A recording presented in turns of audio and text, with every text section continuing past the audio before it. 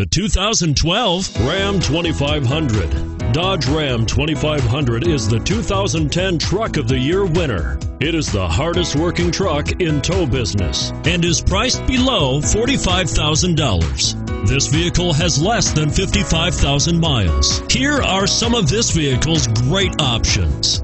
Stability control, traction control, steering wheel audio controls, navigation system, tow hitch, anti-lock braking system, power passenger seat, driver airbag, power steering, adjustable steering wheel. If you like it online, you'll love it in your driveway.